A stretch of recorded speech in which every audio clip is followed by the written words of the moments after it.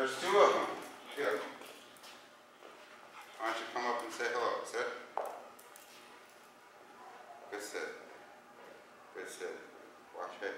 Gee, I'm not gonna be able to keep interest in food, so get, get a look. Okay, stop, stop. Good sit. Don't look at the dog. Don't talk to the dog. Don't touch the dog. Slowly get closer. I'm not gonna let her jump. Good sit. Good sit. I might move my collar up a little bit. Sit.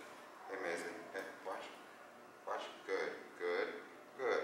Good. And her like this, Sue, get a little closer. Good sit. Good. No sit. Sit. Good sit. Good sit. Good sit. Get a little closer. Watch. Good. Hey. Good. Good. Yes. Now, here, put your other hand in front of her. Off. Rubber chest. Good sit. No, stop. Put your hand out again. Off. Rubber chest. Good sit. Good sit. Good sit. Leave it. Sit. Good. This is how I want it. Rubber chest. Good sit. Good sit.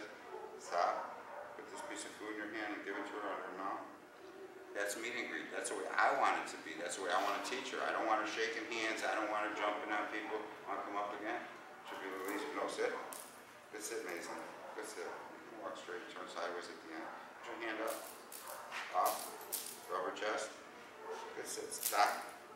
Go. Good. No, you. Okay. I meant you could keep petting her because I got her to stop messing with your bracelet. Good sit. Sit. Good sit. Good sit. Keep it going when it's like this. Good sit, baby. Good sit. Good sit. So you want your dog to behave like this, you gotta teach him to behave like this. You give more food if you want. You can never even watch her if you want. Watch. Yes. Thank you, Sue. Sue with Emmett. Here. Good here. She's a nine-month-old puppy. She's got a lot of energy, so